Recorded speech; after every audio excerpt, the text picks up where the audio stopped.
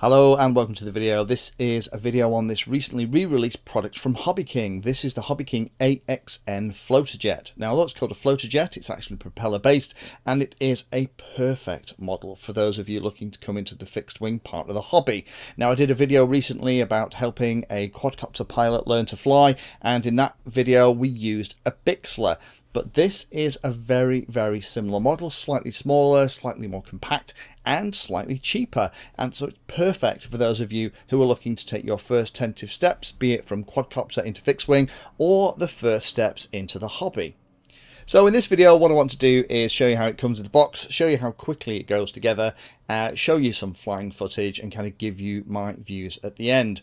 But to let the cat out of the bag so you don't have to wait to the end of the video, this gets two big thumbs up from me. This is a beautiful plane and probably the one that I would recommend to anybody coming to me today to get into the hobby. So while I unbox this thing, let me just go through the specs. Uh, the box itself isn't particularly big because the wings are provided in two halves. The longest thing in here is the main fuselage and the assembly is really, really simple. So this is made of molded EPO foam, which is nice and tough. There's probably only one place on here that has a potential to get damaged in the event of a landing, but I'll cover that at the end. Um, this is super stable. The way the wings are designed, both their high position in the model and also the upturned ends, means that it is very, very docile. And has very, very gentle stall characteristics. Decals are all applied nicely. They're using their standard way of uh, differentiating between the top and bottom surfaces of the plane. Servos are already installed. There's room for a carbon spar to go through the wings for extra rigidity. And you might have spotted, and we'll come back to this in a minute, the wings are slightly different at the ends. They're designed to lock together like pieces of a jigsaw puzzle. So the really cool thing is there's no screws in order to fit these wings in position. They just push home and they kind of interlock in the main body of the model and you're ready to rock and roll. Wingspan of this thing is 1280 millimeters. The fuselage length is a little bit shorter, 830 millimeters. The motor on the back of the main body is a 2212 2200 3S Outrunner. The propeller is a little dinky 5 by 5 inch prop um, I only got one piece in this. Um, it said two pieces in the listing that I looked at. Mine only had one. But to be honest, you're going to have to do something pretty horrendous to break that prop. Speed controller is a 20 amp speed controller. And that's performed beautifully in the flying that I've been doing with it here. All the servos are pretty standard analog 9 gram servos. There's one in each of the wings to control the ailerons. Then there's two inside the body that controls the rudder and the elevator. Now to get this thing to fly you're going to need a four channel transmitter and receiver. So because you're going to need one channel for the ailerons, one channel for the rudder, one channel for the elevator and one for the ESC and the only other thing you're going to need is it lists 1800 to 2200 milliamp hour 3S battery in the listing on the website. I would personally go for the 2200 it'll help you get the center of gravity where it needs to be under the wing so to build the model is very simple and straightforward. The first thing you need to do is attach the tail. Now the way it works is the two little kind of Z bends here. You need to pop them into position. Now I initially installed it as per the manual here. So I'm going to put it into the bottom hole. I would actually put it into the middle hole for your elevator. If you do it that way then you'll get the throws in the manual. But what that means is with it through the hole like that all you need to do is put a little spit of glue underneath and then just push the horizontal stabilizer into place. Use a slow setting CA glue, something that's foam safe. It doesn't come in the box, so that's also something that I would order along with the model.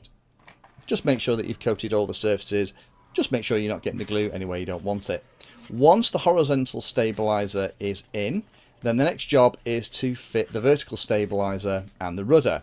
And it's exactly the same procedure to put that on. So work the hinge, always work foam hinges like this before you install them just to free them up a little bit. They're always slightly stiff if they haven't been used before and it just helps the servos work properly. Again, pop it through the very last hole in the rudder and then put some glue down in the hole around the edges of the little tab that goes in and then push that home. That will also lock the horizontal stabilizer and leave that alone for a couple of hours for let the glue set up. And that's the tail all done.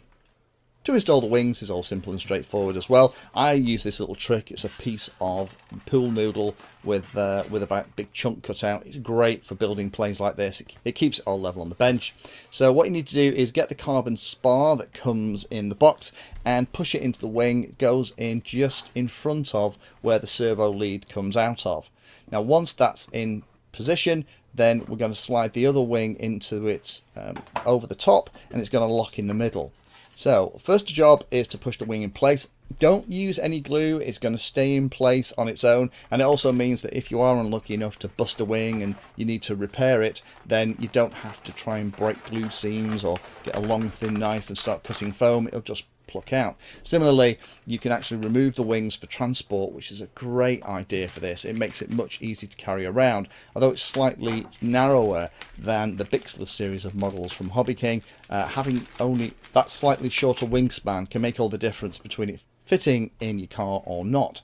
Now there's a Y cable that you're going to have to connect all both of these servos to that comes in the bag. So pop that on there first, then slide the other wing into position, connect the Y cable up, fish around and then pull gently on that Y cable while you slide the other wing in place. That's to keep the wires out of the way and you'll feel it kind of lock into the other wing and that's the wings done too. To set all of the control surfaces is really nice. The control surfaces on mine were pretty spot on straight out the box. There is a little adjusters on the servos inside the canopy uh, so if you have a little hex driver you can use those to get everything set up as per the manual.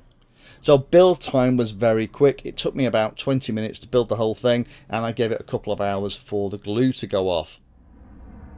So what's it like to fly? It is very very nice indeed. If you've ever seen a Bixler flying or one of those other kind of high winged models then this is behaving exactly the same.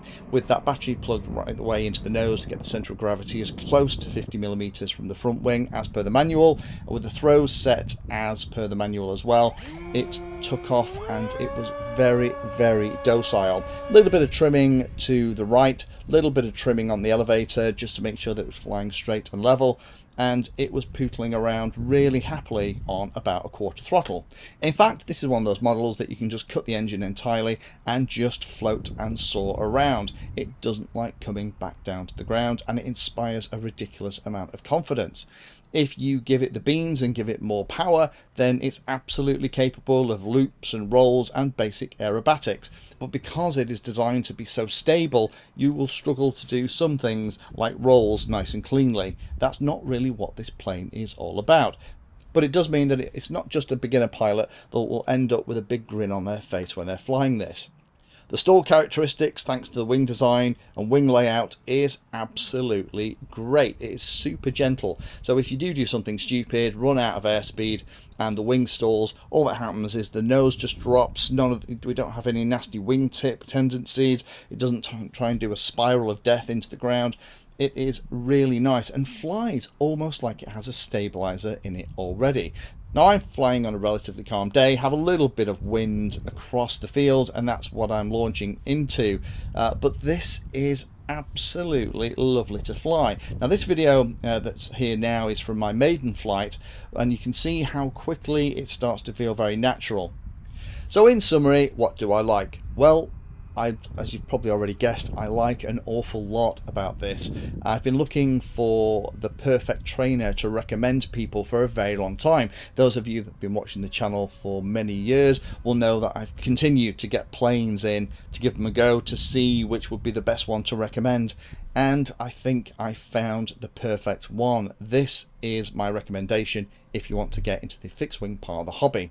I like the design, I like the high motor, it's out the way, I like the fact there's no gear so you can belly land it, I like the way that you can hand launch it without worrying about the prop taking the ends off your fingers. It is super simple to build, two lots of glue for the tail sections, snap in the wings, set your throws and your radio up and you're ready to go it is very easy to fly. It is one of those models that just wants to fly around. In fact, let me show you while I'm talking. Let me just cut the power and you'll see how long it takes to come down into the grass.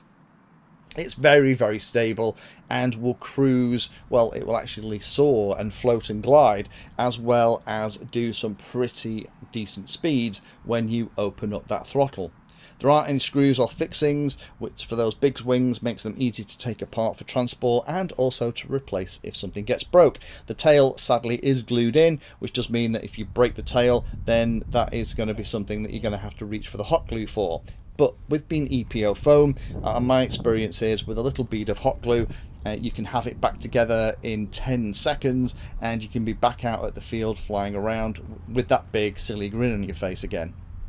Only a couple of things to be aware of here. Um, the nose is a little bit slim. There is one little space in front of the servos behind where the battery fits in, which is a little thin. Uh, that, I suspect, is where it's going to fail if you do accidentally bring it in nose first and hit the ground. I think that's where it's going to crumple or get snapped. You could glue a couple of blocks of foam into that position just to strengthen that part up so it survives crashes. That's a little bit better. I've seen a couple of pilots already add flight controllers to this. There is that little bit of space that we've just talked about uh, that needs reinforcing that you could maybe squeak a little flight controller into. But to be honest, I think there are better planes to put flight controllers in with iNav or ArduPilot and those things. See my series on those for that. This is such a beautiful plane to fly out the box without any support. It's super gentle, super forgiving, and just so much fun to fly. I don't think you need any of that support and using it when you're learning isn't a great idea anyway because then you've got to wean yourself off those additional pieces of help too. I'd recommend getting the heavier 2200 mAh battery. It will give you 20 to 30 minutes of flight time depending on how you fly and you will need it to get the centre of gravity right. Push it really far into the nose. First time you put a battery in you think it's not going to fit but the pads inside the nose of the craft do a great job of holding onto the battery and stopping it from moving. And the last couple of things, the travel needed on the elevator in the manual, it's tricky to get that if you put the connector on the very outer hole as shown in the manual. I would recommend putting it in the middle hole of the elevator when you attach the elevator and that worked a little bit better for me last comment on this.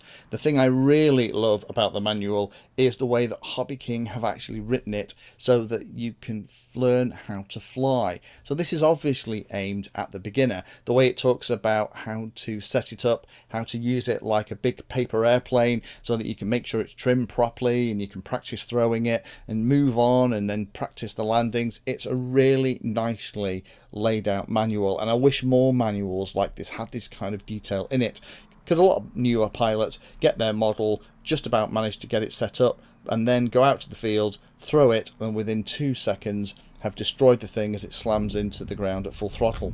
So props to Hobby King for including that. I would recommend following each of the steps here in the manual very closely because it will give you the best chance of getting in the air.